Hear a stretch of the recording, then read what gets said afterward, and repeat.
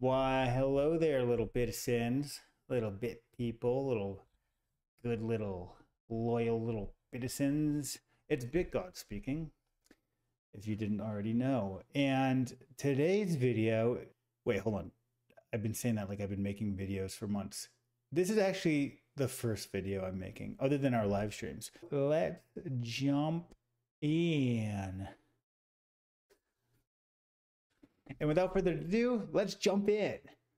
What's my personality going to be on this video? Like, I haven't, what's my character? Do I have to play a character? On stream, I'm just like, oh, really? Oh, wait, what? Oh, that's, I already read that chat. Never mind. Oh, yeah, because nobody watches live streams. That's literally, that's the live stream caricature. But I think in these recorded videos, I'll let my personality shine through. And you will all be like, whoa, okay really the purpose of the video. Look i'm going to have fun with these videos. Why not? What do i like life is about having fun. I built a project that i love. I built a project that you guys love. I mean that's what that's first of all like i could love my own project. Who doesn't love it? But other people love it? That's kind of cool. That has inspired me to really go all in. And on that note going all in let's go all in on finally a minute and a half into this video talking about what this video is about. Today's video, I don't have anything prepared to like show show. I mean, we had a little brainstorm session. That makes no sense though, and I can't even explain that right now. Wait a second. I can do that. All right, cool. One thing I do want to show you guys just real quick here is the user Greater Canton in our Discord community uh, he created this site. This is the Bitverse project site. It's pretty cool. Um, he's used our trade data. So one major update we have is BitNations has opened up its trading data.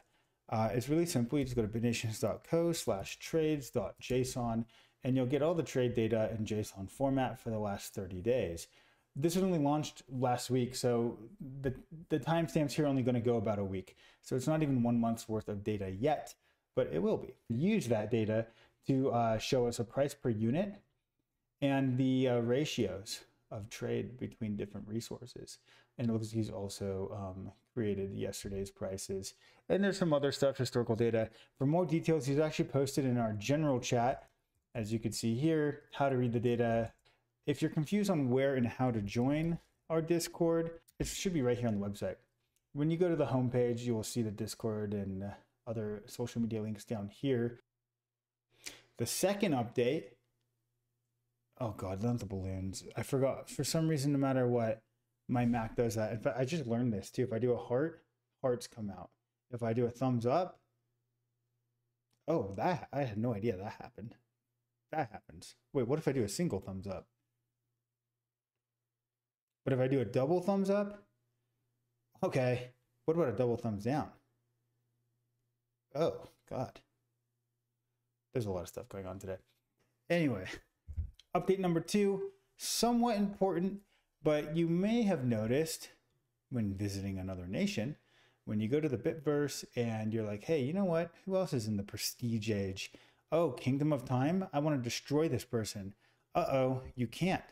War has oh, war has actually been disabled, guys.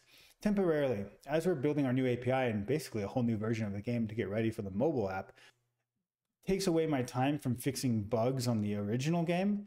And so I kind of just disabled War because there are some bugs in War. But before you ask, if you are wondering, will my current nation transition to the new bit nations? The answer is yes. Okay, that's the good news. We're building in backwards compatibility so that when the new version drops and we head towards a mobile release, your original nation will remain mostly intact. Anyways, I will see you later, Bitizens, and thank you so much for uh, what an amazing community we have, dude. Oh, you might be wondering, wait, is that a Bit Nation sweater? Can I get one? No, you can't. Sorry, there's no link in bio. I'm not an influencer, number one. Number two, these are sold out. So nine months ago, we had a merch store and these sold out. We had a limited supply. We don't make them anymore, guys. This is actually the last one, and I'm keeping it. But in the future, when we do another merch drop, which is not really a priority because we're a video game, but a lot of you guys ask about this stuff. If you want this stuff, let me know.